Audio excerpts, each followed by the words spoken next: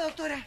Cuatro me volvió, me volvió. ¿Pero qué le volvió, doctora? Ese, ese cada vez que yo escucho esa palabra, cuatro, esa palabra cada vez que La, alguien la, la repite. palabra esa me que... No, no la diga cuatro, por favor, porque no me voy a poder contener y voy a empezar a sacarme la ropa, a bailar y esa cosa del cutututu y no saben qué termina. Tú no se preocupe, doctora. Aquí nadie, nadie, nadie va a decir esa palabra. Nadie. ¡Es que trefe! ¡Es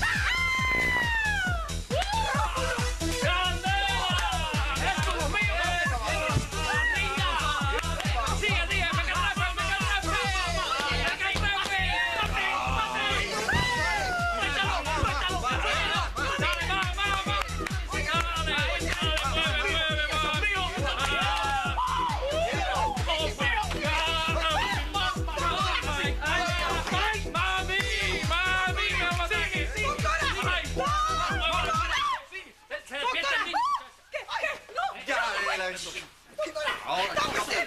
¡Métase ahí! ¡Oye, me mira degenerado! Ay, pero... ¡Ay, Dios mío! No, el carro, la carne para comer y para llevar. Ahora sí va. ¡Cálmese! ¡Tranquilícense! ¿Qué es eso?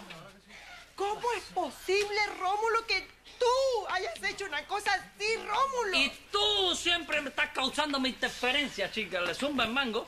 Esto tengo que decírselo a los doctores. ¡No! ¡No! ¡Rómulo, no, por favor! ¡Ay, Dios mío, lo que va a hacer eso! Buenas tardes. Buenas tardes, señora, dígame. Busco a la doctora Cosabella. Eh, ¿Para qué sería? Ah, yo soy su prima. Digo, su prima no. Su tía, perdón. Oh, la- Su tía Anabella. La tía Ana Bella. Ah, En ese caso, pase, la Ay, doctora muchas está acá. gracias, muchas Sí. gracias. Por favor, adelante. ¡Sobrina! ¡Ay, tía Anabella! ¿Pero, pero qué haces así? Después, después, después le explica, doctora. Antes, usted tiene que ponerse estos taponcitos. Estos taponcitos. ¿Para qué? Ay, doctora, tome, ahí póngase los taponcitos. Ay, bueno, bueno, ¿Para qué le explico? Para los oídos. Lo que pasa es que la doctora Cosabella corre un peligro Ay, no.